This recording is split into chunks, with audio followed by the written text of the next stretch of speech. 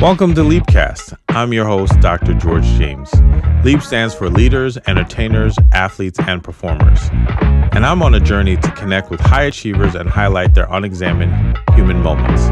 I think gratitude is important, right? So, you know, I see a Jamaican flag and I think about when I screen tested for Cool Runnings, what that felt like. I went to an open call at SOB's, a club here in New York in 1991. My boy called me and said, Hey, they're doing this movie about the Jamaican bobsled team. You should go call this woman and go down. And I didn't have an agent, didn't have a headshot. There was no resume at the time that I, I had credits, but they were like theater credits, but there was no major film. And I remember getting that call three o'clock in the afternoon one day saying, Can you fly to LA tomorrow. You did this audition two months prior, and the director saw it and would like to meet you. And I'm like, what? I got a job. I can't just leave. And I talked to my boss, and I used to work for a group called the City Kids Foundation, which was the best kind of job. I got to be creative, use all of my skill sets, work in education. I'm doing work in music, producing stuff. I'm raising money. I'm learning all of these things. And I was happy. Yeah. And I was like, ah, really? Fly to LA. And she was, my boss, like, you better go. And I know what it was like to land in LA and walk on that Disney lot and walk in the sound stage back in the day when they used to do old school screen tests, when they have a little film crew set up on an empty stage and the magic of being on that lot and walking through alleyways and walking onto the stages and feeling the energy and the history of that felt incredible. Yeah. Like being four again and seeing Alice in Wonderland, seeing the magic. Oh, 1000%. There's nothing like being on the set. There's a part of me that's like still such a little kid.